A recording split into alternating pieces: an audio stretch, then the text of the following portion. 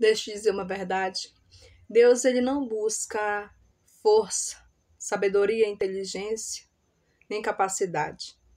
O Senhor busca alguém que esteja disposto a fazer a obra. O Senhor busca alguém que esteja disposto a obedecer. É por isso que o Senhor te escolheu. Ele não olha condições, ele não olha se você é capaz.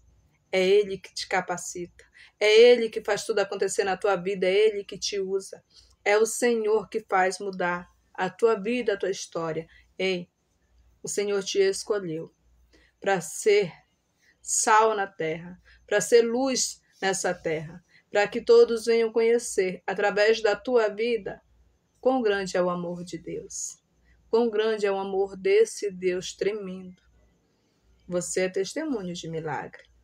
Você tem um testemunho lindo que arrasta multidões. Mas não fica com ele guardado aí dentro, não. Você foi chamado? Não tenha medo.